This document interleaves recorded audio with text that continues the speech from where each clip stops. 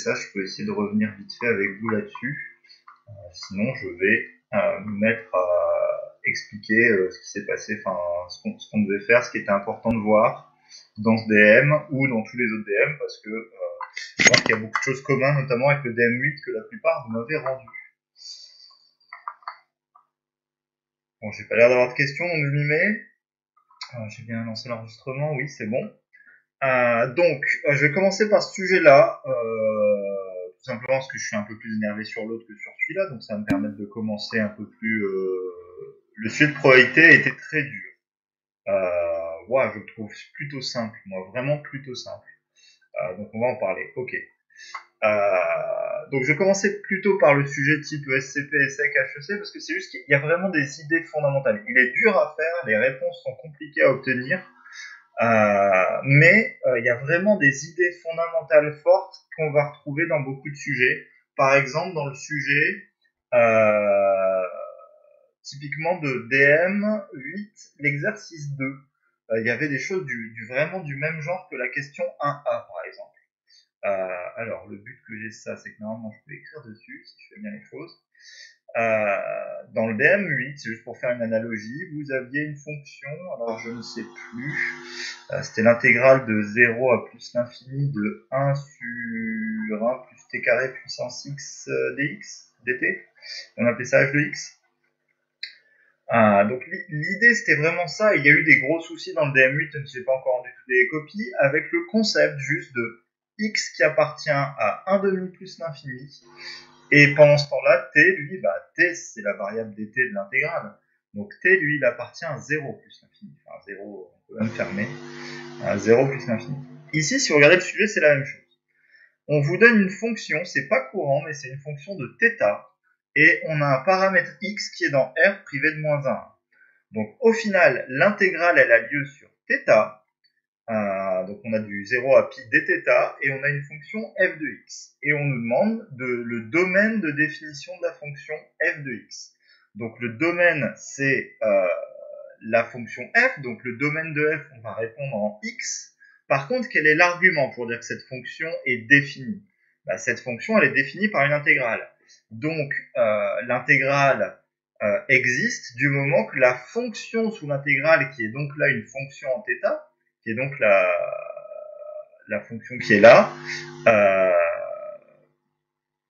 euh, eh bien continue sur l'intervalle 0 euh, donc c'est ça le but de la première question en détail, mais c'est vraiment le but de construire cette fonction grand f un peu comme on voulait construire grand h dans l'autre sujet, et donc c'est de montrer que cette fonction elle est continue. Il y a plein de façons de le faire, je vais en reparler un peu parce que vous avez vraiment développé, pour les 5 qui m'ont fait ce DM là, vous avez vraiment, développé des méthodes complètement différentes et c'était vraiment euh, euh, très très bien, même différentes de mon corrigé. Euh, alors, il faut que je, cherche juste à remettre mon, tableau pour l'expliquer. donc, on a une quantité qui est tout simplement ln de x carré moins 2x cos plus 1 Clairement, le problème de continuité de cette fonction, il est juste dû à un truc, c'est qu'il y a un ln. Donc il faut absolument que cette quantité-là au milieu soit strictement positive. Et donc j'ai vu beaucoup beaucoup de choses différentes pour prouver que c'était strictement positif. Euh, la meilleure méthode, c'était la méthode Léo et Zoubir. Euh, l'idée qu'ils ont eue, c'est très très puissant, c'est de dire que 1 c'est cos carré plus sinus carré. Si on utilise ça, la magie noire qui s'opère, c'est qu'ici, on a une identité remarquable. Si on a une identité remarquable, c'est que ça fait du x moins cos θ, le tout au carré, plus sinus carré θ. Et donc, ok, ça, ça peut varier en fonction de x. Au pire, si x vaut cos θ, ça, ça fait 0. Mais euh, ça, c'est toujours strictement positif, et donc ça marche plutôt bien.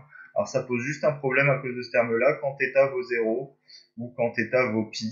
Mais à ce moment-là, on peut regarder quand θ vaut 0 ou θ vaut pi. Euh, ce cosinus-là, il vaut 1 ou moins 1, et on empêche x de valoir 1 ou moins 1 dans, dans la question où on est. Donc c'est un argument pour montrer que ce qui est à l'intérieur était strictement positif, c'est plutôt pas mal. Moi, ce que j'ai fait, et ce qui peut paraître bizarre, vu que c'est encore une fois, la fonction dépend de θ, mais c'est encore une fois ces jeux de paramètres, qu'est-ce qui est fixé, qu'est-ce qui bouge. Ce que moi j'ai fait, j'ai fait un delta en x. C'est-à-dire que j'ai vu ça comme un polynôme en x. Le delta, dans ce cas-là, ça devient du 4 cos carré θ moins 4. Donc ça fait du 4 cos carré θ moins 1 en factorisant. Cos carré étant toujours plus petit que 1, le delta est négatif. Et le delta étant négatif, c'est tout le temps du signe de x carré. Donc c'est un autre argument. Euh, je crois que c'est Justine qui a, elle, pris Costeta, l'a encadré entre moins 1 et 1 et a développé des inégalités successives. Elle obtient à la fin que la quantité à l'intérieur, si elle l'appelle Fθ, elle est strictement comprise entre x-1 au carré et x plus 1 au carré, donc elle est strictement positive. Ah, donc il y a vraiment plein de façons de faire, mais vraiment l'idée c'est de montrer que ce qui est à l'intérieur est positif en jouant sur θ et sur x. Ah, donc voilà pour cette première question. Je reviens sur le sujet, on va avancer un peu. Il y a des choses euh, sur lesquelles je reviendrai pas. Ça c'était vraiment quelque chose d'intéressant dans le sujet. Après, il y a des choses, vous irez voir le corriger, c'est tout. Donc, partager, je veux repartager mon application qui est là. Euh, ensuite, donc il y avait un, montré que la fonction paire, c'est un changement de variable dans l'intégrale. Je vous laisse aller le voir. Il faut que vous sachiez faire techniquement ce genre de calcul. La question 3, c'était un équivalent. Euh, elle n'était pas vraiment très intéressante. Cette question était technique. Elle avait un but derrière. Je l'avais enlevé dans le sujet initial. Je l'ai remis là en rouge. Euh, le but, c'était de montrer que deux intégrales impropres sont convergentes. Donc je vous laisse aller regarder ça. Ça a un intérêt pour ça, ces questions-là. Euh, mais à part ça, euh, voilà, c'est un DL technique là. Ensuite, les questions 2A et 2B ont été très très bien résolues. C'est sur celle-là où vous m'aviez posé le plus de questions. Elles ont été très très très bien faites.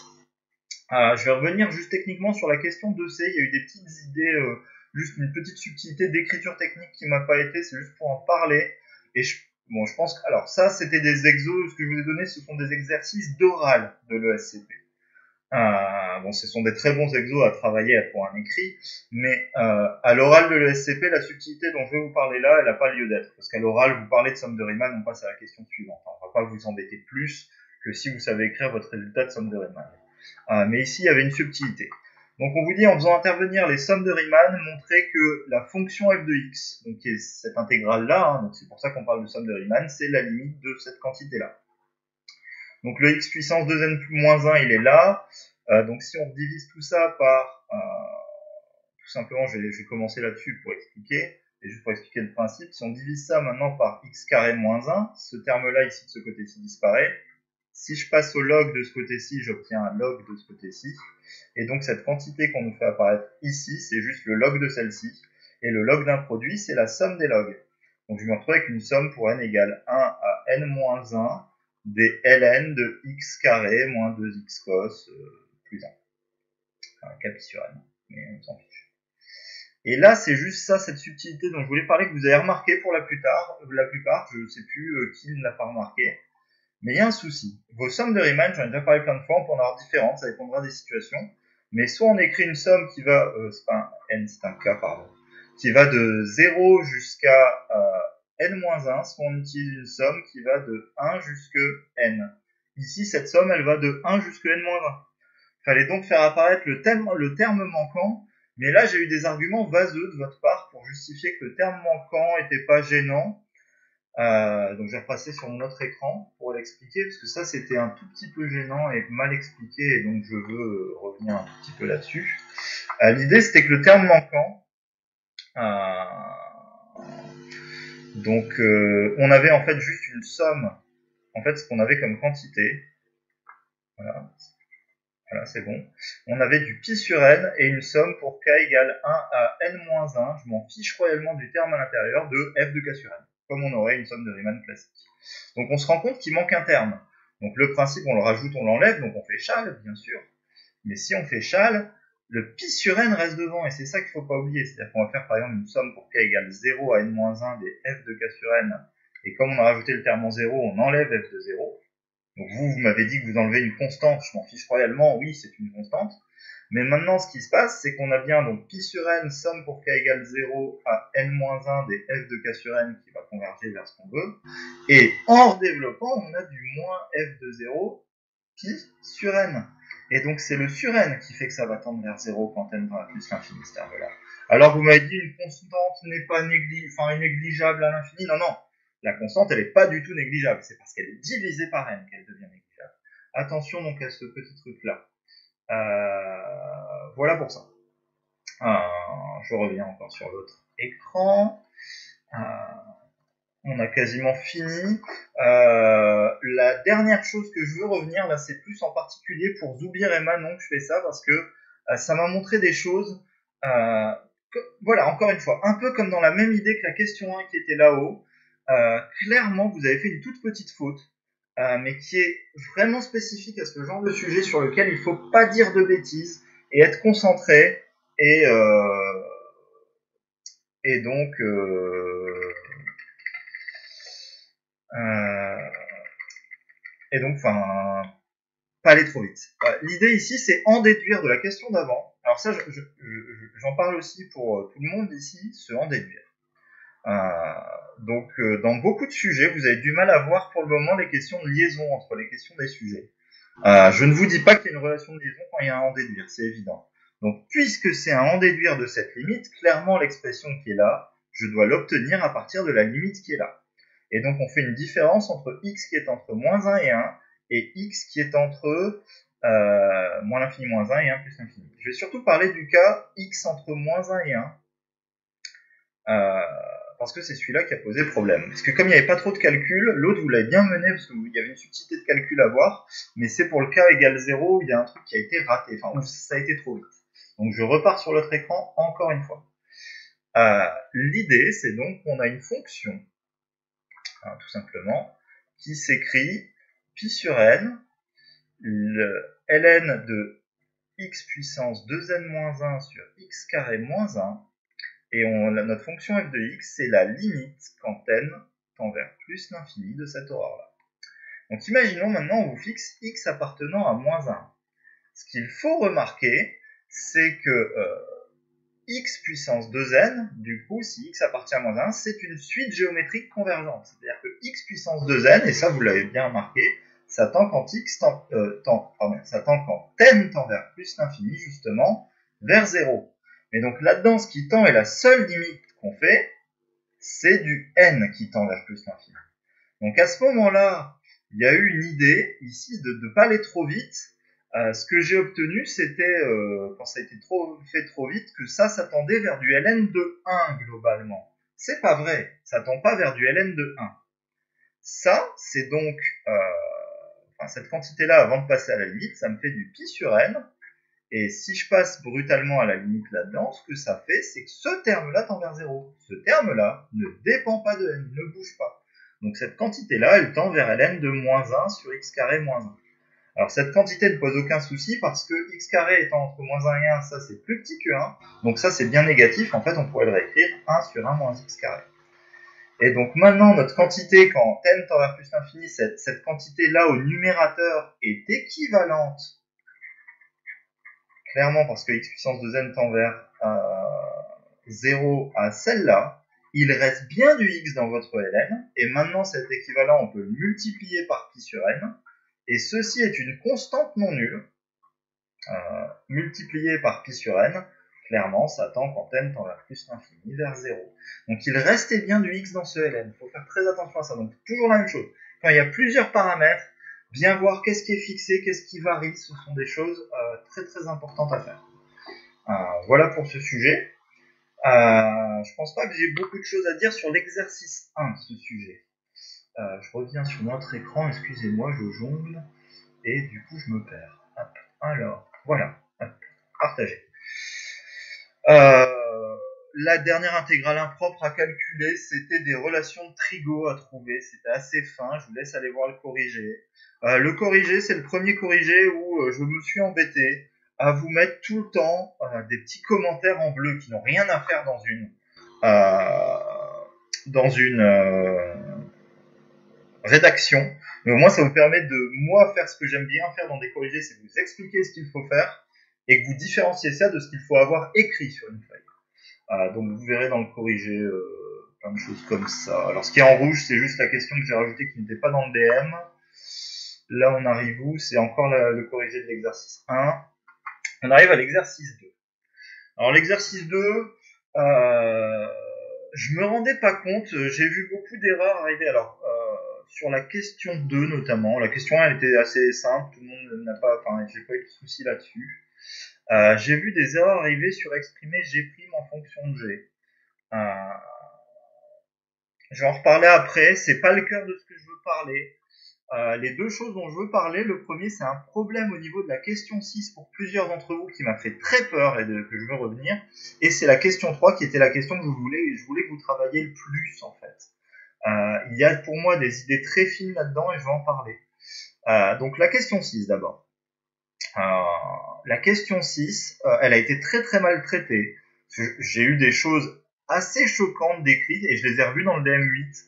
Euh, donc c'était euh, Enfin, il faut vraiment que je corrige ça. On vous donne une fonction qui est donnée par une expression si x n'est pas égal à 0 et qui vaut 1 si x vaut 0. Et on vous demande en gros de montrer que h appartient à e, mais e, c'est l'ensemble des fonctions continues sur R. Donc ce qu'on doit nous montrer, c'est juste que cette fonction est continue. Donc clairement, l'étude du domaine montre que la fonction pour x différente de 0, donc 1 moins exponentielle moins x sur x par règle d'opération, cette fonction-là, elle est clairement continue sur R étoile. Et là, j'ai vu deux ou trois fois le raisonnement. Bon, cette fonction-là, elle est continue sur R étoile. La fonction constante égale à 1 est continue en 0, donc la fonction est continue sur R. Ce raisonnement-là est complètement faux. Il faut absolument pas le faire. Ce qu'on vous demande de faire pour montrer que ça, c'est une fonction continue sur R, c'est absolument pas de parler de ça. C'est de dire uniquement, voilà, cette fonction, elle est continue sur R étoile. Si elle admet un prolongement par continuité en 0 et puisqu'on nous a imposé ici que la valeur en 0 valait 1, si le prolongement par continuité c'est 1, alors la fonction est continue. Et c'est ça qu'il fallait justifier. Et ça, ça se fait par un petit équivalent ou un DL à l'ordre 1 de l'exponentielle, et on arrive à montrer sans aucune difficulté que cette fonction est continue. Mais c'était le but de la question 6 et ça a été mal compris. je veux absolument que vous compreniez ce genre de questions et que vous ne les faites pas de travers avec des arguments un peu vaseux. Voilà pour ça. La question 3, c'était la question la plus fondamentale, euh, montrer qu'une famille est une base. Alors sachant qu'il y a écrit juste ici, mince, je suis plus dans la bonne fenêtre, ça marche plus. Euh, il y a écrit juste ici que l'espace dans lequel on est, c'est vec de cette famille, montrer que cette famille est une base, et cette famille est définie ici, hein, c'est euh, montrer que c'est une famille libre. Donc, je vais revenir dans mon écran parce que ça, je vais y revenir. Moi, j'avais mon argument euh, personne ne l'a fait, donc pour aller voir le corriger, mais je veux quand même l'expliquer un petit peu parce qu'il est fin. Et ensuite, euh, Justine a fait un truc exceptionnel là-dessus, j'avais pas pensé, et euh, ça me paraît très bien d'expliquer aussi. du coup, l'idée, c'est on veut montrer qu'une famille, donc c'est juste une famille F0, Fn, est libre. clairement, pour montrer que c'est une famille libre, la première chose à faire, c'est de dire, bah, je vais poser la somme pour k égale 0 jusqu'à n des alpha k fk et je vais montrer que ça, ça doit, enfin, je vais, essayer de prouver que les alpha k sont nuls. Pour tout cas, à partir, enfin voilà, enfin, on a fait une somme sur tous les éléments k. Alors maintenant, il faut comprendre que ceci est une égalité de fonction. Une égalité de fonction, ça, on ne sait pas les gérer, on doit traduire ça par une égalité de réel pour tout le domaine de définition. Donc là, ça se traduit pour tout x appartenant à R. Je sais que la somme pour k égale 0 à n des alpha k, oula, alpha k exponentielle moins kx est égal à 0. Et je veux montrer que les alpha k sont nuls. Donc moi, mon raisonnement, c'était celui-ci. Juste pour qu'on arrive à le trouver, c'est moi, j'aurais écrit ce que c'est que cette somme en, pointillé. Ça, c'est juste alpha 0 plus alpha 1 exponentielle moins x plus alpha 2 exponentielle moins 2x plus alpha 3, etc. plus, et on va jusqu'à alpha n exponentielle moins nx. Et ça, on, on sait que c'est égal à 0 pour tout x appartenant à R. Est-ce que quelqu'un, à partir de cette écriture-là, a un argument pour me dire que alpha 0 est nul? Moi, c'est comme ça que j'ai procédé. J'ai juste essayé de trouver un argument pour dire que alpha 0 était nul. Est-ce que quelqu'un voit l'argument qui peut servir à prouver que alpha 0 est nul là-dedans? Pas le reste, juste alpha 0. Donc en gros, mon idée c'est de faire disparaître le reste. Sacha, vas-y. Euh, bah, vu que c'était une constante et que c'est pas multiplié par exponentiellement x, c'est forcément égal à 0 vu que ça ne dépend pas du x. Euh, je suis pas d'accord. Euh, les coefficients ont le droit d'être négatifs. Il n'y a aucun souci pour que alpha 0 ce soit moins la somme de tous les autres. Ah euh, Si, d'accord. Je comprends un petit peu ton, ton argument, Sacha. je vais, ouais. Alors c'est tordu, il faudrait le montrer. Alors c'est Ouais, c'est compliqué. Euh, l'idée que tu as, c'est juste de dire que, bon, l'idée de Sacha, si je la comprends bien, c'est que ça c'est une constante, ça c'est une fonction qui varie. Si je change de x, la valeur de cette fonction va changer. Euh, donc forcément, une constante pour que ça, ça varie. Enfin, faut que le reste soit nul, faut que la fonction soit nulle et que ça soit nul. Enfin, c'est un peu tordu. Ce sera un peu compliqué à rédiger. Euh, mais l'idée est à peu près là le fait que l'exponentielle est strictement positive n'apporte rien. Les alphas peuvent être négatifs, Zubia, donc ça ne suffit pas. Euh, Naomi, tu avais une idée là-dessus? Euh, Si on passe tout de l'autre côté et qu'on factorise par un exponentiel et qu'on pose euh, ça comme un polynôme nul, ça marche pas pour les coefficients, non? Alors justement, ça c'est la deuxième méthode, j'y avais pas du tout pensé, c'est la méthode de Justine, je vais y revenir après. Euh, c'était une super idée, j'y avais absolument pas pensé. Moi, mon idée, c'était pas celle-là. Mon idée, c'était juste, moi, j'ai fait tendre, comme c'est vrai pour tout x réel, j'ai fait tendre x vers plus l'infini. Si on fait tendre x vers plus l'infini, l'idée, c'est que ceci, quelle que soit la constante, ça, ça tend vers 0. Ça, ça tend vers 0. Ça, ça tend vers 0. Puisque l'égalité est vraie pour tout x, par passage à la limite, alpha 0 est nul. Maintenant, comme alpha 0 est nul, je reprends l'égalité au-dessus. L'égalité au-dessus, elle s'écrit alpha 1 exponentielle moins x plus alpha 2 exponentielle moins 2x plus alpha n exponentielle moins nx égale à 0. Et ça, je peux factoriser par alpha 1. Euh, excusez-moi, par alpha 1. Je vais, je vais factoriser plutôt par exponentielle moins x. Si je le fais, ça me fait du alpha 1 plus alpha 2 exponentielle moins x plus, et je vais comme ça jusqu'à alpha n exponentielle moins n moins 1 x égale à 0. J'ai un exponentiel en facteur égal à 0. L'exponentiel ne peut pas être nul, c'est forcément ce facteur-là qui est nul. Et si vous avez compris le principe, c'est qu'en fait, maintenant, clairement, je peux montrer que tous les alpha i sont nuls par une récurrence descendante. C'est-à-dire que si j'avais ici alpha, si j'ai réussi à prouver que alpha 0 était nul, maintenant je peux reprendre le même principe et montrer que alpha 1 est nul, puis que alpha 2 est nul, puis que alpha 3 est nul, et aller jusqu'à alpha n est nul. Donc ça, c'était mon, mon, mon, mon idée. Et je voulais développer cette idée ici pour vous montrer quelque chose d'assez fort. On est en algèbre, on doit prouver qu'une famille est libre, mais cette famille, c'est une famille de fonctions, notamment une famille de fonctions de référence sur lequel on connaît plein de propriétés de cours. Euh, il ne faut pas que vous ayez peur de faire de l'analyse. C'est-à-dire là, j'ai fait des limites. Pour moi, quelque chose qui est vraiment de l'analyse pour prouver un résultat d'algèbre. Est-ce que ça vous va, en tout cas, sur l'idée que ça va permettre de prouver que la famille est libre? Ah, Si ça vous va, je vais passer à l'idée de Justine qui était géniale, que j'avais pas vu. Euh, on repart un peu plus haut, je vais effacer le, le tableau. C'était euh, en fait quand on arrive à écrire ça.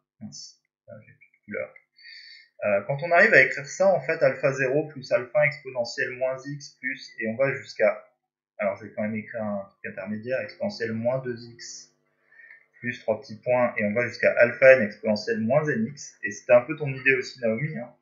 euh, c'est si je pose grand x qui vaut exponentielle moins x, en fait, ceci, c'est du alpha 1 grand x plus alpha 2, et c'est là qu'il faut reconnaître exponentielle moins 2x, en fait, enfin exponentielle moins kx, faut se rendre compte que c'est tout simplement égal à exponentielle moins x puissance k.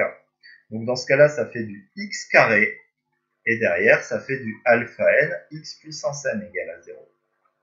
Alors attention, il y a quand même une subtilité, j'ai bien donc une égalité avec un polynôme qui est nul. La question, c'est pour quelle valeur est vraie cette égalité-là? Cette égalité-là était vraie pour tout x appartenant à R. Alors, il me faut une information pour pouvoir conclure à ce que vous voulez faire derrière, parce que la conclusion, c'est qu'un polynôme est nul si tous ses coefficients sont nuls, et on obtient que tous les alpha sont nuls. L'idée à dire quand même, c'est que quand petit x parcourt R, c'est-à-dire quand petit x appartient à R, grand x prend un nombre infini de valeurs. Ou prend, alors moi je vais mettre prend un nombre infini de valeurs. L'idée c'est au moins que ça prenne plus que n valeurs, c'est-à-dire qu'il faut que ça prenne au moins n plus une valeur. Pourquoi? Parce que dans ce cas-là, maintenant, ce polynôme possède au moins n plus une racine.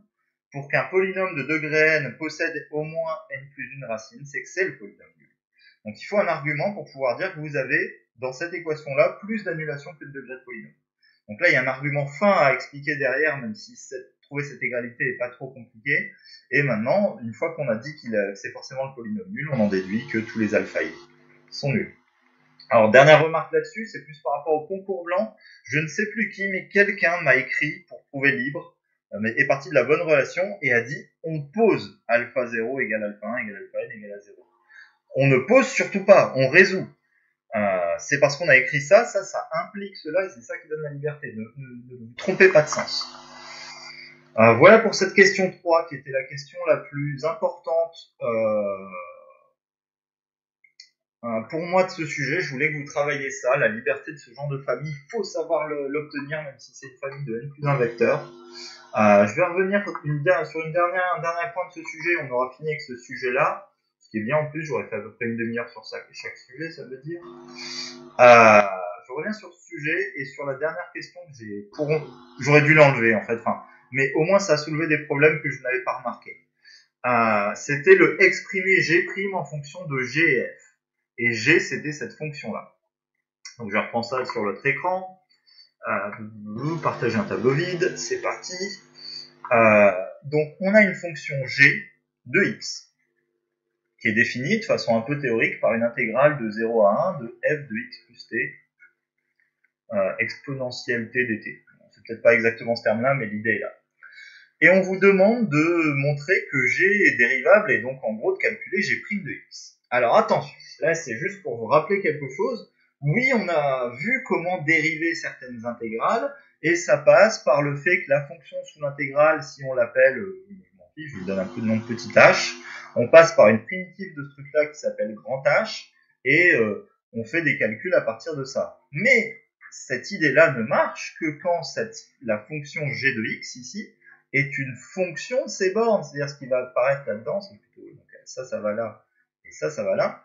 Donc pour que ça varie en x, il faut que h soit une fonction de ces bornes. Or là, on aurait plutôt du h de 1 et du h de 0 avec du x comme paramètre de la primitive. Donc ce n'est pas du tout la méthode standard de dérivée d'une intégrale, qui est fonction de ces bornes.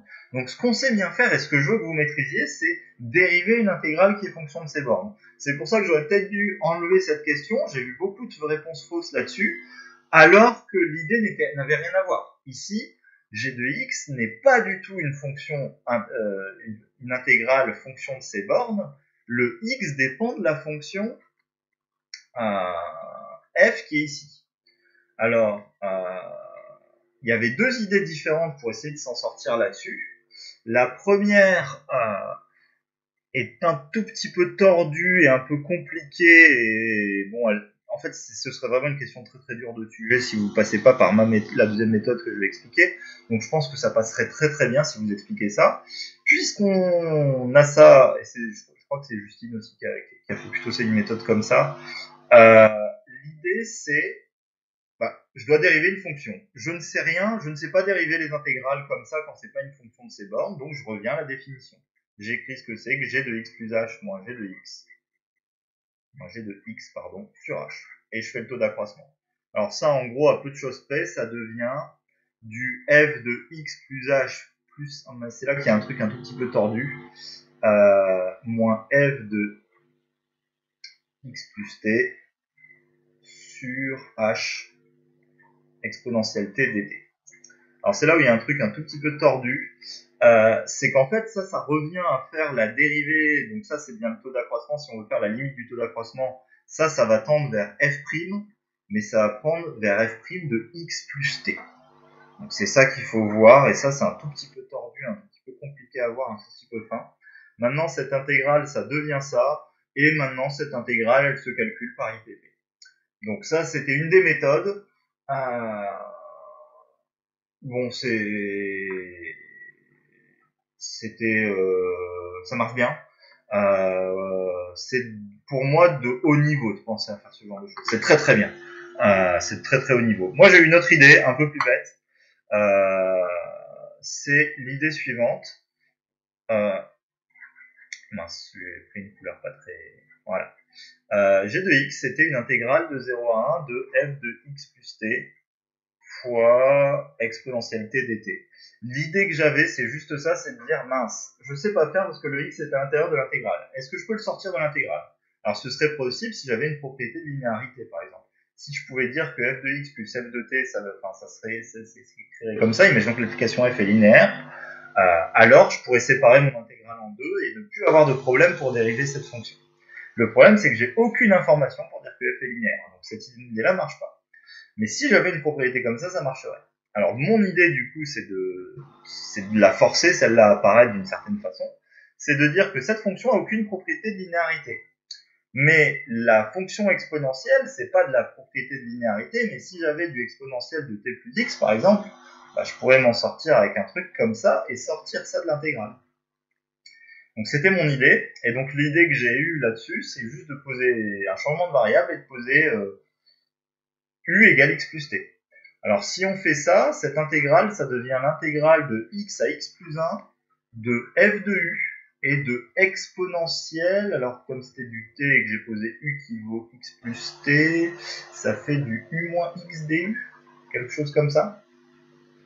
Donc ça revient tout simplement à du exponentiel moins x intégrale de x à x plus 1 de f de u exponentielle u du, et ceci maintenant, on peut passer par la méthode classique d'une fonction intégrale de ces bornes. Donc si j'appelle petit h de u la fonction qui est là-dessous, ça, ça devient de l'exponentielle moins x, et je me retrouve avec du h de x plus 1 moins h de x, et ça, je vais savoir le dériver. Ah, donc voilà, c'était la deuxième idée là-dessus. Euh, plus, plus dans l'esprit de ce qu'on aurait voulu vous fassiez sur ce genre de questions, à mon avis. Euh, voilà. Bon, question très difficile. J'arrête avec ce sujet, je voulais parler de ces quelques questions qui étaient vraiment importantes. Toutes les autres, après, c'est plus des questions de lien. Il y a des choses... Euh bon, apprendre à garder, c'est un sujet global, donc du coup il y a des choses plus dures ou des choses moins intéressantes. Euh, mais ça, c'était vraiment des questions euh, très riches, bon, un peu dures. Euh, reprenez le corriger si vous en avez besoin pour ce sujet. je passe au deuxième sujet maintenant. Alors, du coup, excusez-moi, il va me falloir juste quelques secondes. Je fais... Ah non, je suis bête, c'est dans le même fichier, donc tout va bien. Il faut juste que j'avance. C'est quelle page? C'est la page. Euh, il est là mon sujet? Oui. Alors. Donc c'est la page 6. Ok. Euh, je vous le montre. Excusez-moi. Partager l'application. Encore une fois, c'est celui-là. Alors, on passe sur le sujet. Euh, million et comme. Euh, S'il est dans le sujet 1, les deux sujets c'était du. Ah. C'était du. Euh, de l'oral de l'ESCP. Ça, ce sujet-là, même si vous le savez déjà pour la plupart, n'est-ce pas C'était écrit comme en 2014. Hein, J'avais donné aussi en concours blanc l'année dernière, en concours blanc de fin d'année. Euh, L'idée, c'est que vous avez un espace. Alors, euh, là, il y a un truc que j'ai pas compris, et d'ailleurs, même pour ceux qui ont été voir le corriger, ça m'énerve encore plus. Euh, c'est marqué dans le sujet que E est l'ensemble des fonctions. Pourquoi est-ce que la plupart d'entre vous avaient été m'écrire que E était inclus dans R? Est-ce que R, l'ensemble des réels, c'est un, ce sont des fonctions? Non, un élément de R, c'est un réel. Donc E n'est absolument pas euh, inclus dans R. Donc je vais effacer ça. Je vais partager un autre écran 10 secondes parce que je suis très énervé à ce sujet-là. Euh, et notamment pour tous les petits génies qui savent aller chercher des, des corrigés, je vais vous apprendre à lire aussi. Ça paraît quelque chose d'important de savoir lire. Alors, faut que j'arrête le partage de l'écran avant de pouvoir en partager un autre. Euh, je veux partager un onglet et je veux partager celui-là. Euh, c'est que, ok, euh, Ecricom donne des corrigés officiels. Bon, déjà, celui-là, il est pas très très bien on en reparlera après. Mais si je zoome, alors moi je peux peut-être zoomer pour que ça vous, aussi vous voyez mieux. Hop. Euh, donc je vais descendre moi non pas au, corrigé, mais quand vous avez accès à un document pareil, je vous l'ai déjà dit, allez voir le euh, comment s'appelle le rapport du jury. Alors le rapport du jury qui va être là, commentaires généraux. Exercice 1, question 1. Cette question s'est avérée discriminante. Un tiers des candidats s'est avéré incapable de justifier l'une des assertions proposées. On voyait fleurir souvent l'affirmation E inclus dans R. C'est-à-dire, vous descendiez de 5 pages, vous aviez l'information comme quoi ce que vous m'écriviez, ça n'avait aucun sens. Donc ça, euh, je suis vraiment pas content. on va remonter sur le sujet, mais c'est pas très très grave. Alors j'ai pas besoin de revenir en arrière du coup. Excusez-moi pour le scroll rapide, mais je vais retomber sur le sujet pour vous montrer ça. voilà le sujet. Donc on a un espace de fonction qui vérifie des choses un peu particulières, notamment une relation euh, f de x égale xp plus x ln x q de x. Euh, et on définit une application linéaire sur cet espace. Ok. On doit, alors, première chose, on doit prouver que c'est un espace vectoriel et que cet espace vectoriel possède une famille génératrice qui est donnée là-haut, qui est la famille U1, UN jusqu'à V1, Vn. De, de deux choses l'une il n'y a pas besoin dans cette question de prouver que E est inclus dans un espace de référence, que le vecteur nul est inclus et appartient, et qu'une combinaison linéaire est stable. À cause de la deuxième partie de la question, euh, puisqu'on vous demande dans la deuxième partie de la question de montrer que ça s'écrit vec de quelque chose, si vous êtes capable de me l'écrire vec de quelque chose, alors c'est un espace vectoriel. Donc il fallait plutôt se concentrer sur la deuxième partie qui était de prouver que c'est un vect. Euh, voilà cette question. Euh,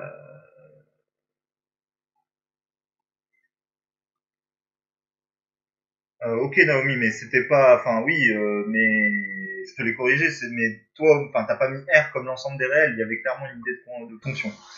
c'était parce que d'autres, c'était vraiment pas clair si c'était des fonctions ou pas des fonctions dans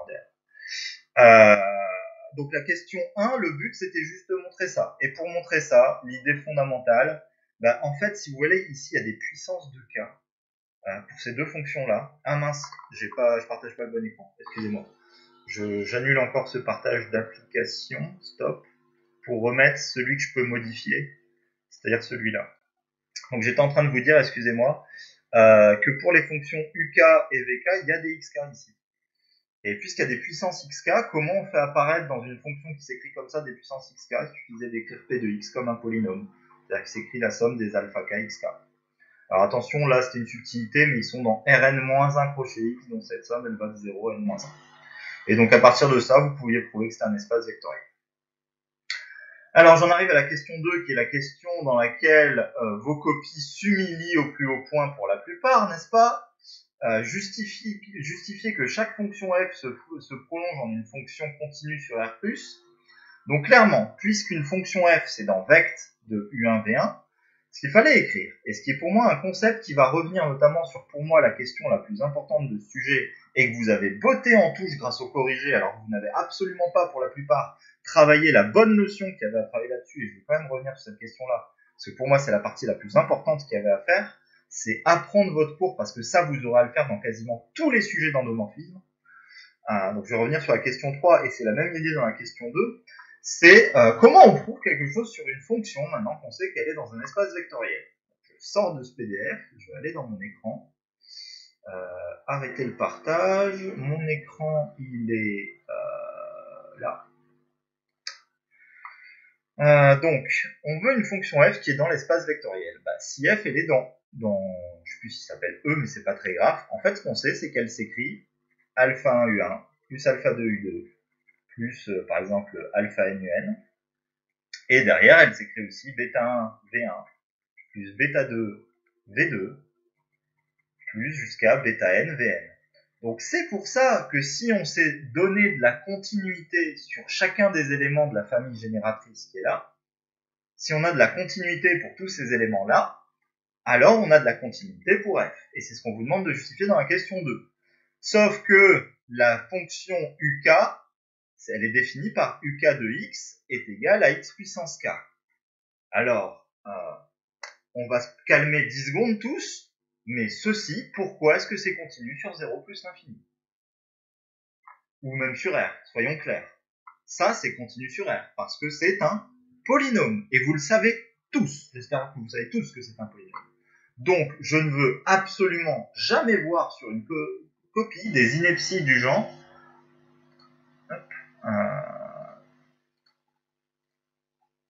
du genre, on va essayer de trouver un petit bout de corrigé quand même, ça c'était magnifique. Euh, des inepties du genre. Alors, c'est où? La fonction uk est polynomiale, donc continue sur l'ouvert 0 plus l'infini, avec une limite en 0, et donc elle est prolongeable par continuité en 0. Non mais on va où là? Donc arrêtez de dire euh, j'ai fait, enfin bon, arrêtez de faire, croire que vous travaillez quand vous, euh, ou que vous. Oui, mais j'ai travaillé intelligemment le corriger. Non, si vous m'avez écrit ça, vous avez absolument pas réfléchi en écrivant ça. Bref. Euh, donc clairement la fois je reviens sur mon écran. Ah oui, mais comme j'ai partagé, mon écran il va être vide. Ah mince, ça c'est bête. c'est pas très très grave. donc la famille UK était clairement continue. Il suffisait de prouver que la famille VK, qui était une famille de, fonctions qui s'écrivait XK, ln de x, était continue en 0. Bah ça, c'est un prolongement par continuité quand x tend vers 0 de ce truc-là. Alors, je suis d'accord que toute fonction f s'écrit, euh, s'écrit comme une fonction continue par prolongement par continuité. Alors, euh, la question d'après, on vous demande le calcul de phi de UK, phi de VK. Je vous invite à aller refaire ces calculs, notamment le calcul de phi de VK, parce qu'on a une question de cours au premier semestre sur les calculs de l'intégrale de 0 à 1 des fonctions t puissance k ln de t dt. C'était une question de cours où il fallait montrer que cette suite d'intégrales était définie et la calculer, et pour ça, ça passait par une intégrale impropre. Or, le calcul de phi de VK ici, ça passe par le calcul, alors il y a 1 sur x devant, mais on s'en fiche, mais c'est le même calcul, sauf qu'on change la borne 1 du haut par une borne x. Donc si vous n'avez pas bien mené ce calcul ou si vous avez recopié le corrigé comme des gens très intelligents, euh, je vous invite à aller rebosser ce calcul, il est important. Mais bref, ce qu'on peut montrer de ce calcul, c'est juste que phi de UK, ça fait, je m'en fiche même de la constante, ça fait du alpha UK. Et phi de VK, si on faisait le calcul, ça faisait du alpha UK plus bêta VK. Bêta VK. Donc en gros, le but de ce calcul, c'était de montrer que phi de UK s'exprime en fonction de la famille UKVK et que phi de VK s'exprime en fonction de la famille UKVK. Donc ça veut dire que ces éléments sont stables dans l'espace vectoriel quand ils passent à travers phi. Or, la question 3, qui est pour moi la question la plus importante du sujet, c'est montrer que phi de f, euh, de f appartient à E si f appartient à E. Et ça, c'est pas avec des arguments vaseux de type le vect, il est inclus, euh, je sais pas ce qui a été mis, enfin, c'est ce qu'a mis la personne dans le corrigé et que vous avez été nombreux à recopier de façon très intelligente. Euh, mais c'est du cours. On a une question de cours qui est sur, qui porte sur fit Alors, je sais plus exactement comment elle s'écrit, mais elle est en 1 sur x, euh, 1 euh, sur n, pardon, p' fois 1 moins x, x puissance n, enfin, vous verrez, il y a une question de cours qui pose sur une fonction phi qui s'écrit comme ça, où dans la question de cours, il y a marqué de calculer phi de xn, parce que la règle des degrés ne marche pas pour celle-ci. Et pourtant, c'est un endomorphisme, et on le fait à partir du même principe. Ce qu'on fait, c'est trois, ces trois arguments qu'il faut enchaîner de façon cohérente. C'est que euh, la famille, ici U1 jusque Vn, alors d'habitude c'est base qu'on utilise, ici famille génératrice suffit. Puisque c'est une famille génératrice, c'est ce qu'on a écrit pour la question 2. F, ça s'écrit alpha 1 U1 plus alpha n UN plus bêta 1 V1 plus euh, bêta 1 V1 plus trois petits points jusqu'à bêta n Vn. Puisque f s'écrit comme ça, maintenant c'est le premier argument. Deuxième argument, phi est linéaire. C'est ce que vous prouvez en début de question 3. Donc, deuxième argument, phi est linéaire. Donc phi de f, vous savez que ça fait la combinaison linéaire des alpha i phi de ui plus bêta i, phi de vi.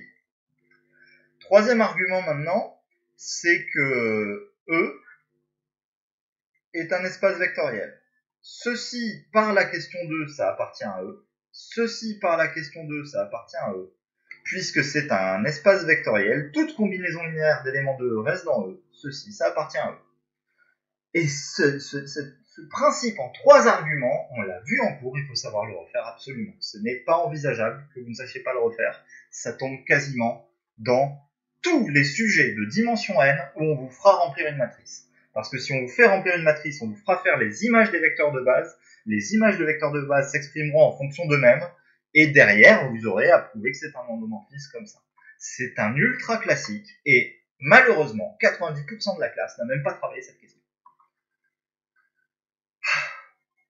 Bon, voilà pour ça.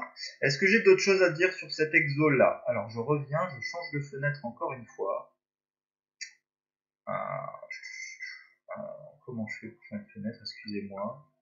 Alors, c'est là. Hop. Euh, partager l'écran, fenêtre de l'application. Je reviens sur ça. Hop, voilà.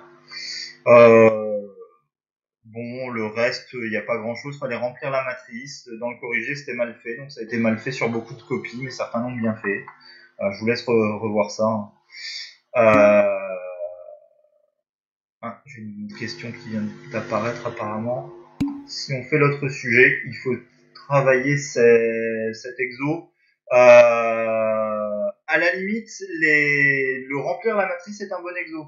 Euh, notamment pour le DS, j'avais dit de travailler la compétence, euh, la compétence savoir remplir une matrice en dimension n. Il y en a une à remplir dans cet exo. Donc, euh, savoir mener ces calculs est intéressant. Après, le reste du sujet est un peu lourd et technique. Euh, la question 6, euh, je vous laisse la retravailler. Ça fait un peu appel à la même chose que dans l'autre sujet, le deuxième exo, quand j'ai parlé de la question 2, avec la fonction qu'il fallait dériver, parce que c'était une fonction, fonction de ces bornes, hein, je parle de ce calcul-là de g de x, dériver ça euh, comme une fonction qui est fonction de ces bornes, oui, il fallait faire le même principe ici, il fallait écrire que g de x c'était du 1 sur xk, x puissance moins k c'est du 1 sur xk, fois une fonction h de x moins h de 0. Et il fallait dériver cette fonction. Alors, sauf que grosse erreur de certains d'entre vous, c'est que ça, ça se dérive euh, enfin, comme la dérivée d'un produit, et ça a été oublié par certains. Et d'autres, ensuite, euh, il y a eu un petit problème juste d'idée. Euh, on dit de montrer que cette fonction g marche quand on a une fonction f qui vérifie ce genre de propriété. Donc, clairement, il faut utiliser aussi les propriétés de f pour montrer que la dérivée est nulle. Donc quand on va dériver, on va tomber sur du f et il faut utiliser que la dérivée est nulle. À aucun moment, je dis bien à aucun moment, puisqu'on a des infos sur f, il est utile d'utiliser le fait que f s'écrit comme ça. Parce que les infos, on les a ici en bas sur f, on n'a aucune information sur p et q. Donc tous ceux qui ont essayé d'écrire du p, de l'écriture de f comme ça, je comprends que vous avez voulu le faire, mais c'est juste pour dire que ce n'est vraiment pas une bonne idée ici. Ce n'est vraiment pas une bonne idée euh, parce que euh, justement, on a des infos sur la fonction f et non pas sur les éléments p et q qui définissent la fonction f. Donc il faut se limiter à faire des calculs en f et par descendre un cran en dessous en p et q. Euh, voilà, c'est la seule chose que j'ai à vous dire là-dessus. Reprenez le corrigé. Euh, ça, c'est important. Alors juste une chose quand même, hein, je vous le dis. Euh, oui, il existe un corrigé officiel. Je me suis embêté à vous le taper, le corrigé. Euh, c'est pour vous donner nos arguments à nous plutôt que les arguments vaseux qu'il peut y avoir dans certains corrigés. Du type, euh, je sais pas, pour la question 3, la déduction est classique lorsque l'on dispose de l'image d'une base. J'aurais même pu écrire dans mon corrigé, euh, c'est une question de cours. Euh, mais c'est exactement ça. Euh, par rapport à la fin de la question 6b, je ne comprends pas l'idée avec la dérivée et la constante. Ah, ce principe-là, je peux l'écrire dans l'autre, avant de passer au, sujet suivant, je peux je peux revenir là-dessus, Naomi. Alors attendez encore une fois. En fait, c'est vraiment, c'est juste un système de jeu d'équations. Et la dernière question, c'est normal que ce soit compliqué parce qu'en fait, je je, vous, fais faire des calculs sur des vecteurs propres sans vous dire que c'est des vecteurs propres. Euh, donc du coup, vous voyez, il y a, des outils. C'est un cours qui n'a rien à voir avec ce qu'on fait là comme calcul, mais qui vous ferait penser à écrire des choses euh, qui vous paraissent choquantes ici. Mais en gros, on montre que g de x, euh, on montre que g' de x égale 0 donc g de x est une constante. Cette constante, par exemple, je vais l'appeler k. Or, g de x, elle avait une expression. g de x, elle s'écrivait 1 sur x puissance k, intégrale de 0 à x de f de t dt. Bon bah, si g de x est une constante qui vaut k et qui vaut cette quantité-là, ça c'est une équation. Ça me donne que l'intégrale de 0 à x de f de t dt, ça s'écrit k fois x puissance k. Or, dernière chose, on savait dans la question que phi de f, qui vaut euh, phi de f de x, ça valait 1 sur x intégrale de 0 à 1 x de f de t dt. Donc en fait, phi de f de x, ça vaut. Euh, et on savait dans cette question que phi de f, ça valait, je sais plus, 1 sur petit k. Alors oui, attention, c'est un grand k ici, c'est pas un petit k. 1 sur k f de x. Euh, donc ça, ça vaut 1 sur kf de x d'un côté, d'un autre côté, par l'écriture qui est là, ça, ça vaut du k x puissance k moins 1. Ce qui permet de montrer que f de x, c'est du petit k fois grand k fois x puissance k moins 1. Et en gros, c'est pour ça que cette question est compliquée. Montrer cette règle-là, ça a juste pour le but de montrer que euh, les fonctions qui s'écrivent comme ça, Donc ce serait des fonctions qui seraient dans ker de phi moins 1 sur petit k fois l'identité, ce que vous n'avez pas à savoir. Mais ça, la, constante k ici étant une constante multiplicative quelconque, c'est vect de la fonction xk-1. C'était ça la conclusion que vous n'avez pas à faire vous dans votre réseau, vu que vous ne savez pas ce que c'est qu'un vecteur propre, mais ce calcul avec une constante multiplicative qu'on voulait obtenir avait pour but derrière de faire ça. Donc comme, il, monte, comme il vous manque l'étape finale, je comprends que vous ne comprenez pas pourquoi il fallait arriver à ce résultat-là. Mais moi, je vous ai fait arriver à ce résultat-là parce que ça, ça n'a rien à voir avec la notion de vecteur propre, ça a à voir avec du calcul d'intégrale et de la primitive de fonction. Mais c'est parce qu'il reste une ligne derrière à faire pour que ça ait du sens. Donc c'est ça qui t'a gêné Naomi euh, là-dedans. Euh, mais ça, c'est vous le ferez l'année prochaine. C'est une notion de vecteur propre. Euh, du coup, je reviens encore et toujours sur notre écran pour parler du dernier sujet, le sujet de proba. Alors Naomi, tout à l'heure, tu as dit que ce sujet était dur. Euh, moi, je le trouve vraiment particulièrement facile. Euh, donc ce sujet, j'ai coupé pas mal de questions. J'en ai reparlé en proba infini. En fait, c'est un sujet de proba infini, ça. Hein. mince. Euh, excusez-moi, si je voulais pas faire ça. Euh, c'est un sujet de proba infini. Euh, mais je vous ai coupé toutes les, questions de proba infini. Typiquement, avant cette question, si je vous demande quel est le support de y de oméga, puisqu'il y a une proba pour tout n appartenant à une étoile, y de oméga, son support c'est n étoile. Et derrière, la question que j'ai, qui n'est pas dans le sujet, mais qui était dans le sujet de base, c'était est-ce que Y admet une espérance? Ça, je vous l'ai fait mardi en classe avec cette, cette proba-là. Et non, cette variable-là n'admet pas d'espérance. Et donc, elle n'avait pas de variance. Euh, voilà. Euh, donc, c'est... Euh, enfin, c'était un truc classique. Enfin, c'est... C'était un sujet de proba infini que, où j'ai coupé tout ce qui n'a pas à voir avec les probas infinis. Enfin, tout ce qui avait à voir avec les probas infinis. Donc, je vais revenir sur ce sujet. Euh, donc euh, on vous donne une variable xn, donc un mobile qui se déplace au hasard, et euh, quand, on est, quand, il fait son saut, il se déplace au hasard sur l'intervalle 0n. Donc clairement, la loi de xn, c'était une loi uniforme sur l'intervalle 0n, et ce qui amène quelque chose qui n'est pour moi pas dur, mais qui est subtil et sur lequel il ne faut pas se tromper, c'est que la, loi uniforme sur 0n, ce n'est pas votre loi de référence. Votre loi de référence, c'est sur 1n, donc il fallait refaire tous les calculs d'espérance et de variance. Elles sont modifiées. Euh, d'ailleurs, même si j'ai moins râlé sur les corrigés que ça, euh, quand certains sont capables d'avoir une fraction en n carré moins 4 sur un certain dénominateur, moins une autre fraction avec un autre dénominateur, et euh, en une seule ligne de calcul, ça devient du n facteur de n plus 2 sur 12, s'il vous plaît, arrêtez de vous foutre de moi. donc bon, bref ça aussi, même si j'ai pas trouvé de corrigé aussi faux ou aussi mal rédigé que pour l'autre, euh, j'aimerais bien que vous réfléchissiez un peu plus à vos calculs et à vos événements. Alors, euh, donc là, il fallait refaire l'espérance et la variance, mais c'est du calcul de somme classique. J'espère que ça vous a pas posé trop de problèmes. Ce qui va être très important de voir et de comprendre, ce sont euh, bah, juste ces questions-là. La partie info après est pas trop trop compliquée, on peut en parler un peu, mais c'est moins important. Euh, c'est vraiment la logique qui est là, parce qu'une fois que vous l'avez comprise, vous savez faire le reste sans aucune difficulté. Donc je vais revenir là-dessus. Euh, donc c'est toujours ça. Moi je pense que ce qui vous pose le plus de problèmes, c'est la question de A.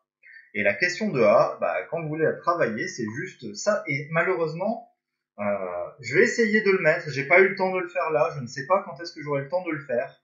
je veux vous rajouter sur le site un exo de gamme de juste d'expression d'événements. C'est-à-dire euh, juste, je vous donne un événement et je vous demande, euh, je vous donne des noms d'événements, des événements qui s'appellent AK par exemple, et je vous donne un événement B. Et j'essaye de vous demander, bah, exprimez-moi B en fonction des AK. Sans parler de proba, juste d'événements. Parce que ça, c'est un point sur lequel vous avez du mal et sur lequel je voudrais revenir. Euh, donc ça, cet événement, c'est l'événement y égale n. Quand on comprend la variable y égale n, ça veut dire premier retour en 0 au énième tirage. Donc ça, ça veut dire deux choses. C'est vraiment de la traduction de texte et de la compréhension de texte plutôt que des maths pour moi. Mais ça, ça veut dire que ça veut dire deux choses. Un, pendant n-1 tirage, on ne fait pas, on ne fait pas 0. Et 2, au énième tirage,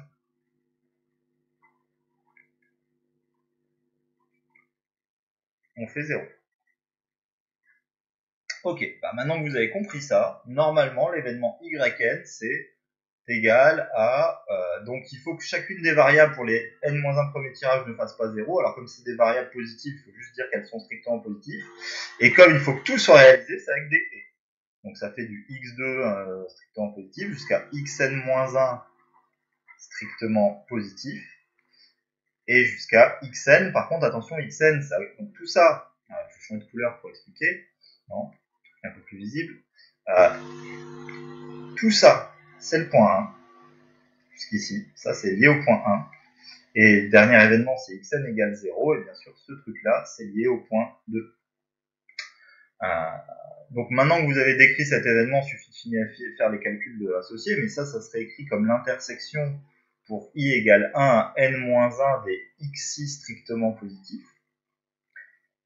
Inter, je vais le séparer celui-là, xn égale à 0. Et maintenant, on vous demande un calcul de proba. Donc le calcul de proba, et là j'insiste, même si certains corrigés se permettent de ne pas mettre d'argument E, moi j'attends des choses de vous, euh, c'est que quand on a ça, vous n'avez pas le droit de passer la moindre forme de la moindre étape de calcul en proba sans la justifier pour moi. C'est-à-dire que là, vous avez une proba d'une intersection. Pour passer à la ligne d'en dessous, il vous faut un argument. Et il n'y a que deux façons de gérer des intersections en proba. Soit c'est la formule des probas composés, soit, deuxième possibilité, les tirages sont indépendants et la probabilité d'une intersection, ça devient un produit de proba. Donc ici, clairement, c'est marqué dans le texte que les tirages se font au hasard. Donc les tirages sont indépendants entre eux. C'est l'argument principal de la question 2b. Je n'ai pas besoin quasiment d'autres arguments que ça. Et ça, maintenant, ça devient le produit pour i égale 1 à n-1 des probabilités de xi strictement positif et fois la probabilité de, pas, ça c'était xn, xn égale 0. Alors maintenant, il faut calculer les probas de ces événements-là. Euh, comme xi, ça suit une loi uniforme sur 0n, alors il ne faut pas se faire avoir par la loi, encore une fois, c'est juste des pièges, mais ça rend pas l'exercice difficile. Euh, on a tout simplement que la probabilité que xn vaut 0, bah, c'est une probabilité élémentaire, ça vaut forcément 1 sur n plus 1. Et la probabilité que xi est strictement positif, quand on est en xi, on a... Alors c'est xn ici. Quand on est en xi, on a une variable uniforme sur 0i, donc qui charge au total i plus un point. Et il y a combien de tirages qui sont strictement positifs? Bah, Il y en a i. Donc maintenant que vous avez ça, si je repars en haut, ça donne un produit des... Ça donne un produit des i égale 1 à n-1 des i sur i plus 1 fois derrière 1 sur n plus 1 et ça, c'est un produit télescopique. On a clairement des, indices successifs. Et donc, si je prends le plus petit, c'est le plus petit là-haut, ça va me faire du 1 sur n fois 1 sur n plus 1, et on a la bonne réponse. Donc ça, c'est pour euh, la question de 2A. Je finis très très vite sur les 2A et 2B. Je finis très très vite sur 3A et 3B. 3A, vous m'avez tous très très bien expliqué que cet événement est impossible. Vous avez juste un très très gros souci en proba, je ne sais pas pourquoi j'ai vu des choses écrites comme ça. Probabilité sachant y égale i de z égale k égale l'ensemble vide. Non, faut vraiment comprendre. L'événement z égale k inter y égale i, ça c'est un événement qui est d'ensemble vide. Ok, ça a du sens. La probabilité d'un événement qui est impossible, elle existe. C'est pas cette probabilité n'existe pas, c'est elle existe et elle vaut zéro. Je ne sais pas combien de fois je vais devoir le répéter, mais il faut vraiment que vous compreniez qu'une proba existe toujours, mais qu'elle peut ne pas arriver, donc elle vaut zéro. La proba existe. Euh, la proba que la connexion se coupe maintenant, elle est nulle, mais euh, elle existe. Euh, bon, ça c'est pour 3A. Pour 3B, je suis choqué de tous ceux qui n'ont pas réussi à faire 3B si vous avez réussi à me faire 2B ou 2A, parce que c'est la même chose. Sachant, euh, sachant y égale i, l'événement z égale k, mais c'est bien sachant l'événement z égale k devient tout simplement l'événement, bah, il faut que la variable xk plus 1, de la même façon, hein, comment on a que le deuxième retour a lieu en k, pardon, c'est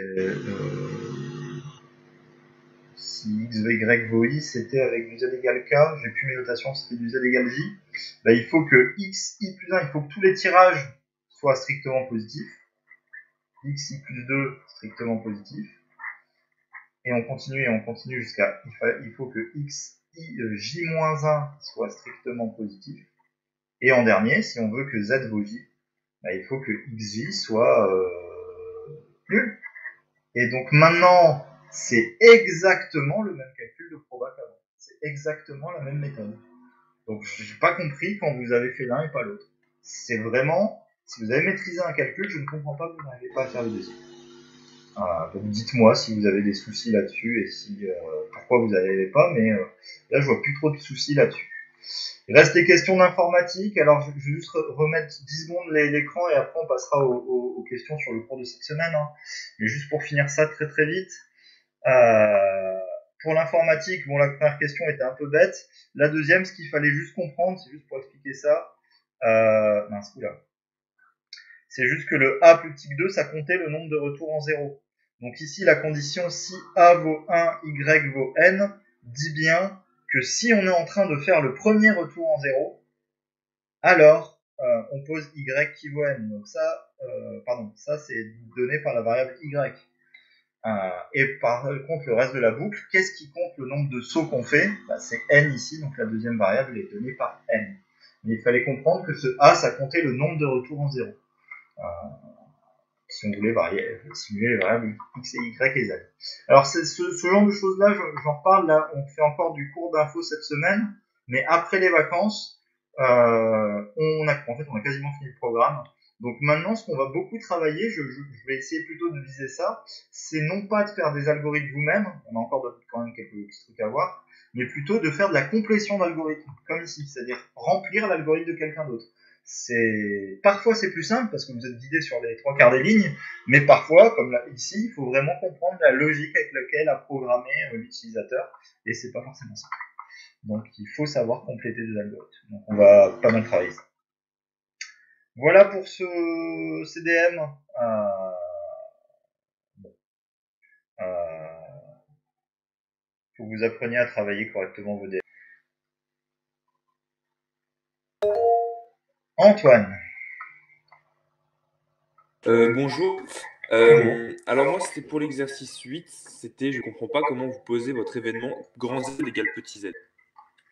Euh, alors oui, bon mes notations étaient un peu tordues. Alors l'exercice 8, euh, je reprends mes notations. J'étais sur les DM, donc j'ai pas ouvert encore mon PDF de Politcourt. Alors, chapitre 14, il est là. Alors, l'exercice 8, c'était celui sur les lois de poisson. Et j'ai posé petit z, grand z égale petit z. Ok. Euh... Alors, euh, Juste, euh, est-ce que tu as un moment sur la vidéo, Antoine, ou pas? Sinon, je peux faire une réexplication globale, mais c'est pour voir à peu près comment je l'avais fait dans la vidéo, vu que je l'ai fait il y a de ça plus d'une semaine, donc ou à peu près une semaine, donc j'ai un peu un petit trou sur comment je l'ai expliqué exactement. Euh, bah, c'est surtout en fait sur le début, je sais pas le, le timecode en tête, mais c'est Alors, bah, c'est pas grave. Dans ce cas-là, c'est pas grave du tout. Euh, je peux refaire une réexplication, mais je vais peut-être refaire sans m'en rendre compte la même que dans le, la vidéo. Euh, L'idée, c'est que clairement, euh, donc il y a juste deux concepts. X est une variable qui est à support dans n. Y est une variable qui est à support dans n. Donc est-ce que tu es d'accord avec moi Antoine que z de oméga, il est clairement un support dans n, au moins inclus dans n? Je ne sais pas encore si c'est égal, mais pour le moment c'est clairement inclus dans n. Vu que z c'est x plus y. On ne peut pas faire autre chose avec une somme. Voilà. Euh, maintenant, l'idée c'est comment avec une somme de deux nombres positifs, je peux obtenir l'événement, alors je vais, changer un peu mes lettres pour que ce soit plus simple, comment je peux obtenir l'événement z égale n? J'avais mis z égale z, c'était une notation un peu tordue, mais là je vais reprendre z égale n. Bah, en fait, c'est assez logique, puisque x prend des valeurs entières positives et y aussi. imaginons que je veux expliquer ça par rapport à x. Ben, x, il peut prendre la valeur 0. Si x prend la valeur 0 pour que z égale n soit validé, dans ce cas-là, il faut que y vaut n. x peut prendre la valeur 1, dans ce cas-là, y vaut n moins 1. Et on peut continuer comme ça. x peut aller jusque n, dans ce cas-là, y lui vaut 0. Mais par contre, à partir du moment où x vaut n plus 1, c'est plus possible. Et pareil ici, je peux pas aller dans l'autre sens. Je peux pas avoir y qui vaut n plus 1, parce que sinon c'est plus possible. Donc maintenant, l'événement z égale n, sachant ça, je sais que je peux l'écrire, puisque je ne peux pas avoir en même temps x égale 0, x égale 1 et x égale n, ce sont des événements donc disjoints, je peux écrire ça comme l'union pour i allant de 0 jusqu'à n, oula, euh, mince, je peux pas annuler, si, je vais compter un CTRL Z, non ça marche pas sur le CNET, euh, je suis désolé, euh, de x égale 0, enfin pardon, de, si je fais varier avec un i, c'est le but, c'est plutôt de x égale i, et en même temps, si x vaut i, y égale, bah, quand je suis au milieu ici, si x vaut i au milieu, forcément y vaut n moins i. Euh, donc ça fait l'événement y égale n moins i. Et donc, est-ce que tu es d'accord avec cette description de l'événement z égale n, euh, Antoine? Euh, Oui. Ok, bah maintenant qu'on a cet événement, c'est fini, il n'y a plus qu'à faire un calcul de somme, c'est-à-dire que c'est plus des probas. On a fait pour moi le raisonnement probabiliste, euh, maintenant c'est un, un, calcul de somme. Euh, est-ce qu'il y avait aussi un souci sur le calcul de somme Tu veux que je revienne dessus ou juste l'événement ça va? C'est bien, bah, du coup, dans, le, dans, la vidéo, c'est un petit z, c'est ça? Dans la vidéo, c'est un. Je, je t'entends pas, ça coupe, ça coupe, Antoine. Donc écris-le en texte, s'il te plaît, parce que là, je n'arrive pas à te comprendre.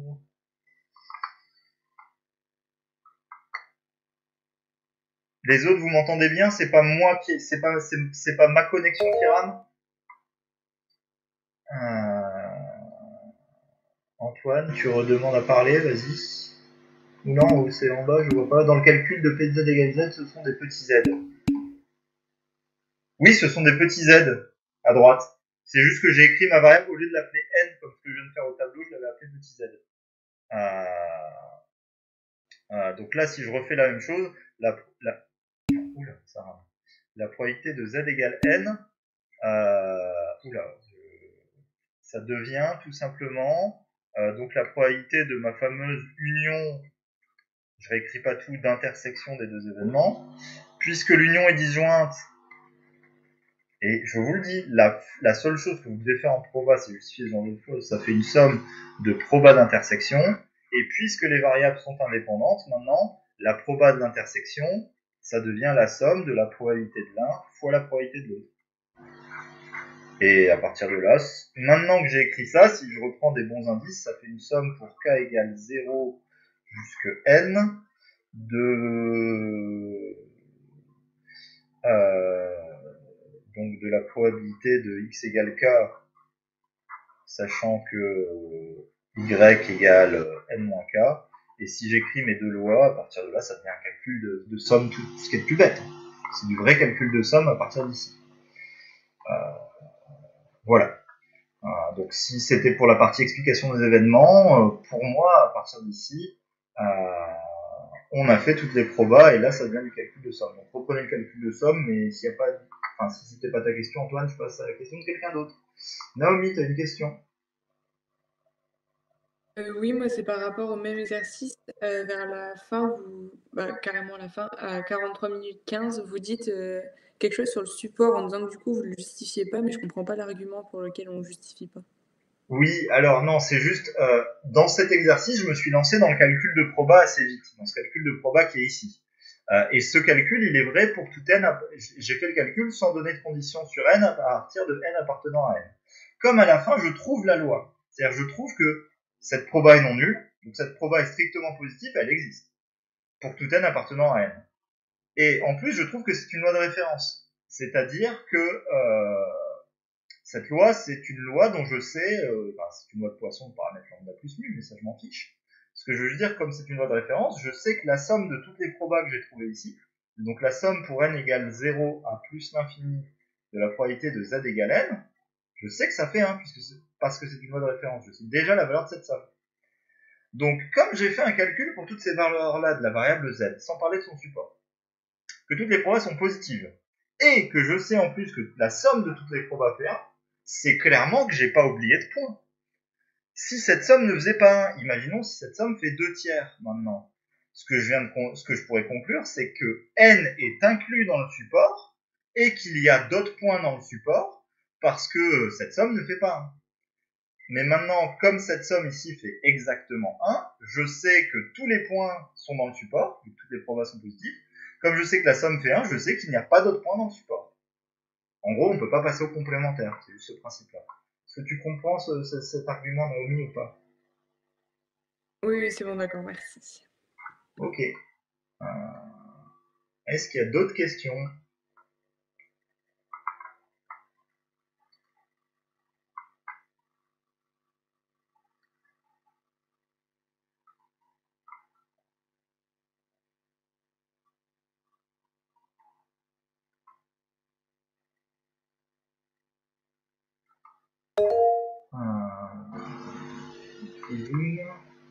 Euh, Sacha, t'as une question? Naomi, t'as encore, euh, encore une question ou c'est que moi qui, je sais pas, je peux pas enlever Ok. Euh, Sacha, vas-y. Euh, je comprends pas très bien dans les premières du coup questions des sujets. Par exemple, doit du coup donner la loi avec les inclusions dans n étoiles. Bah, imaginons alors quelle expérience tordue je peux vous inventer. Euh, euh,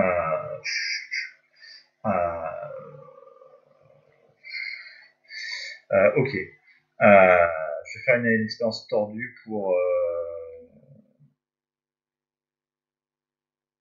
pour expliquer ce principe-là. imaginons, c'est mon, jeu préféré, je ne l'ai pas encore expliqué à vous cette année. Euh, je pense que je ne voulais pas expliquer. C'est un jeu de proba infini, donc je pense pas que je l'ai expliqué. Euh, on, va, on va lancer une pièce à pile ou face, elle est, elle est équilibrée la pièce. Euh, je joue moi contre vous. Oula, pile face, pile, pile face. Euh, et on va jouer sur, son principe suivant. On va lancer la pièce, on va noter les symboles successifs qui apparaissent, pile, pile, face, face, pile, face. Et on va dire quelque chose, c'est que je gagne si, euh, si le symbole euh, face pile pile apparaît en premier, si ça, ça apparaît avant la, suite de symboles pile pile face. Et on va dire que vous gagnez si euh, pile pile face, vous, si la succession de symboles pile pile face apparaît avant face pile pile. Donc typiquement dans la série que j'ai mis là-haut, c'est vous qui gagnez et c'est pas moi. Euh, la question sont donc la pièce est équilibrée, mais la question c'est est-ce que mon jeu est équilibré? Est-ce que vous avez envie de jouer ou pas? Euh, Donc euh, on vous, enfin le but final de l'exo serait de, comprendre ça. Euh, mais juste pour faire mon exemple de support de variable aléatoire, imaginons, je vais noter x, la variable aléatoire, donc qui, dit le nombre de lancers le nombre de lancers euh, nécessaires pour obtenir euh, pile pile face ou face pile pile. Alors là par exemple il suffit de trois lancers pour l'obtenir, euh, mais si je vous fais tout le long pile face, pile face, pile face, pile face, pile face, pile face, je peux aller très très loin aussi. Donc sans parler de variables aléatoires, mais juste en parlant de l'expérience que je suis en train d'expliquer, Sacha, si tu l'as à peu près comprise. Quelles sont les valeurs que peut prendre X? Dans quoi c'est inclus? Sans même, sans même donner le moindre argument, c'est évident. Alors Naomi, tu as une réponse, il en faut minimum 3, et au maximum.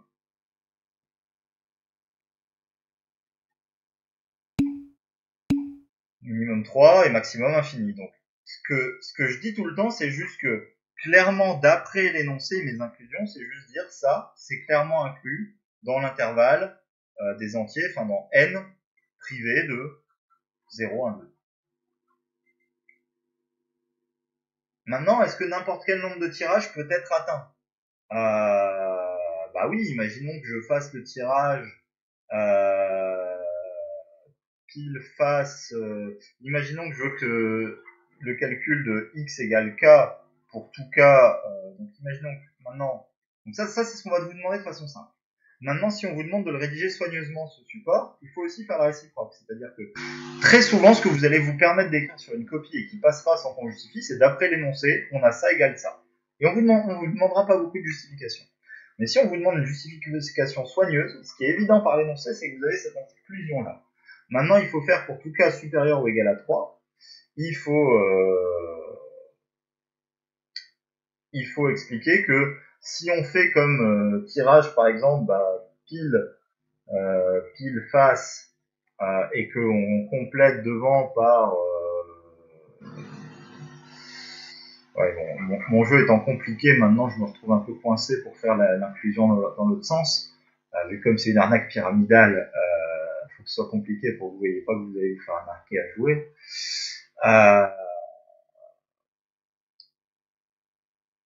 Donc comment j'explique ça? Pour tout cas supérieur à 3, bah, si je fais pile face, pile face, à... alors je vais dire, euh... si je fais K-3 symboles pile face, pile face, pile face, et qu'après je fais pile, pile, face, euh... j'ai bien euh, x égale k qui est réalisé.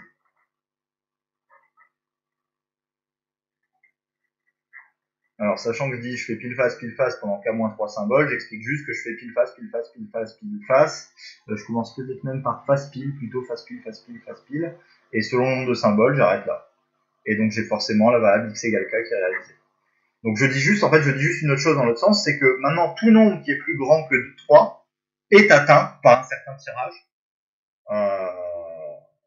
Donc s'il peut être atteint par un certain tirage, j'obtiens l'inclusion inverse, donc j'obtiens l'égalité des supports. C'est ça qui te gêne, Sacha, ou c'est un peu plus clair maintenant avec un truc, euh, encore une autre expérience? Euh, Ça aussi, je ferai un truc sur les supports. C'est prévu dans les exos type bête que je dois mettre, enfin bête, où je vous donne un énoncé, donnez-moi le support. Est-ce que vous êtes capable de le trouver Parce qu'il faut absolument pas que vous vous plantez sur le support. Si vous vous plantez sur le support, vous êtes mort pour le reste de l'exo. Est-ce que ça, ça clarifie un peu la notion ou pas, C'était plus dans la rédaction. Alors là, la rédaction, ça dépend de l'expérience la, seule chose qu'il faut comprendre, c'est, vous devez dire, d'après l'énoncé, je sais que ça peut prendre, ça, ça va aller dans cette gamme de valeurs. Et la rédaction dans l'autre sens, c'est, et tout élément de cette gamme de valeurs peut être atteint par un tirage.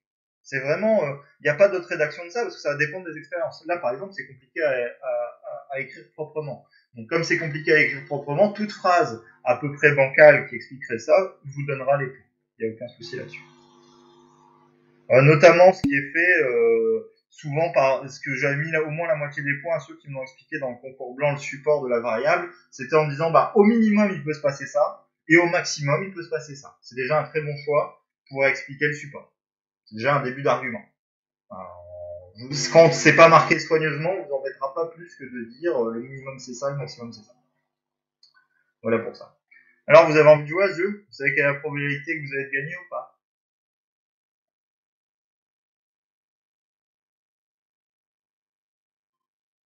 Qui a la moindre idée de savoir quelle est la probabilité qu'il a Ça a l'air est plus probable, Justine. Bon, bah, t'es tombé dans le piège. Euh, je vous laisse y réfléchir, c'est un exo tout bête. Hein. Euh, votre proba de gagner, c'est un quart. Dans trois quarts des cas, c'est moi qui gagne. Oui, c'est complètement défavorable pour vous. Hein. C'est le principe. Hein. Je vais pas faire un jeu qui est favorable, qui, qui vous est favorable. Hein. Sinon, c'est moi qui joue pas. Euh, mais donc je vous laisse réfléchir à pourquoi c'est un quart. Euh, ça, c'est un truc que j'avais vu bien plus tard, euh, rien à voir avec les en proba. C'est en théorie des graphes. Ça s'écrit très très bien avec la théorie des graphes. Euh, ça commence par une phase. Oui, si, on commence par une phase, vous êtes très mal barré. En fait. C'est un des principes qu'il faut comprendre dans le jeu. C'est que si la première, la première pièce fait face, vous ne pouvez déjà plus gagner en fait. Donc déjà dans plus de 50% des cas, c'est moi qui gagne. Euh... Donc bref. Euh... Bon, je, je, vous laisse y réfléchir, c'est pas le but de notre séance ici aujourd'hui.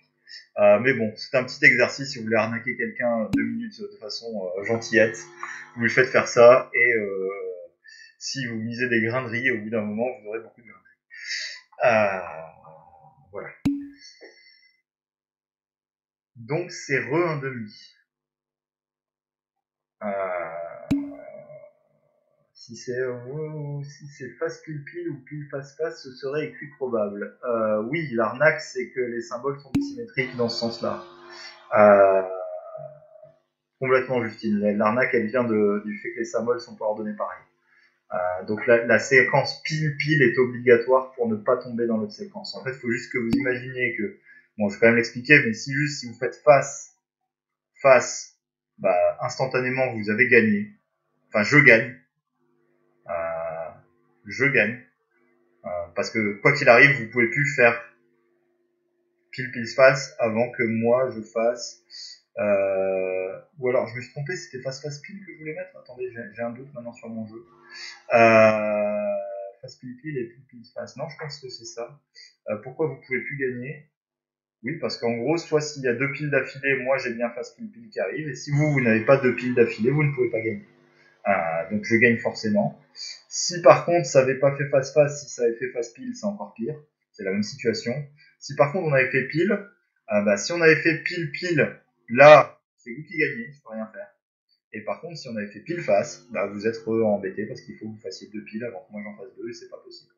Donc dans 3 cas sur 4, juste à partir des deux premiers symboles, on peut savoir euh, si c'est moi qui gagne ou si c'est vous qui gagnez. Donc il n'y a pas besoin d'en tirer plus que deux. Euh, voilà. Euh, mais typiquement, l'expérience peut être très très longue et enfin, vraiment vraiment longue. Voilà. Euh, Est-ce qu'il y a d'autres questions?